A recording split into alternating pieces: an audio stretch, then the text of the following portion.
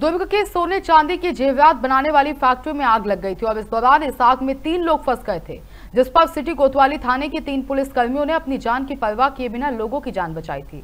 Police कर्मचारियों के सराहनीय कार्य पर दुर्ग एसपी जितेंद्र शुक्ला ने उन्हें सम्मानित किया। बताया जा रहा है कि महाराष्ट्र के रहने वाले चंदर किंगर उर्फ़ चंदर घोरपड़े ने किराए से लिया था और चंदर यहाँ दो मंजिल में सोने चांदी के आभूषण बनाने की फैक्ट्री संचालित करते थे और ऊपर के दो मंजिल में लोग कारीगर रहते और आराम करते थे। आग पहले माले में शॉर्ट सर्किट की वजह से लगी थी और इसके बाद धीरे धीरे बढ़कर दूसरी मंजिल में पहुँच गई थी। सिटी कोतवाली थाना के तीन पुलिसकर्मी योगेश चंद्राकर, उत्कर्ष सिंह, नवीन यादव, जान जोखिम में डालकर लोगों को सुरक्षित बाहर निकाले। और तीनों पुलिसकर्मियों की इस बहादुरी से खुश होकर दुर्ग के एसपी जितेंद्र शुक्ला ने तीनों पुलिस जवानों को सम्मानित किया है और उनका हौसला भी बढ़ाया है।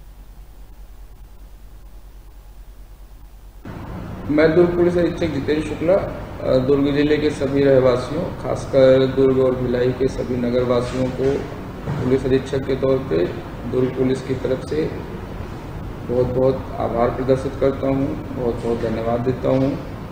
और पूरा दुर्ग पुलिस उनका आभारी है कि उन्होंने पिछले तीन दिन में जो भी सद्भाव, जो भी शांति प्रियता और जो भी सहजता दिखाई है, खासकर ईद के जो प्रोसेसन था और उसके बाद जो मूर्ति विसर्जन और गणेश पूजा के दौरान जो शांति सद्भाव का प्रदर्शन किया और विसर्जन के दौरान जिस प्रकार की सरल ढंग से अच्छे तरीके से, अनुशासित ढंग से सभी नियम कानूनों को फॉलो करते हुए जो पुलिस द्वारा जारी किए गए थे, उसके थ्रू शांतिपूर्ण विसर्जन प्रोग्राम संपन्न कराया है। उसके लिए जिला पुलिस आप सबका विशेष आभार प्रदर्शित करती है।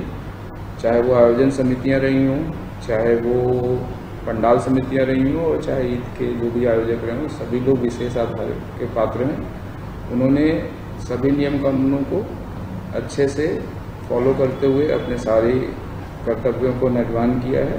पुलिस उनके साथ हमेशा खड़ी रहेगी और ऐसे ही सहयोग की अपेक्षा हमेशा बनी रहेगी और पुलिस आपके साथ हमेशा अच्छे कामों में पूरे तत्परता से खड़ी नज़र आएगी। धन्यवाद।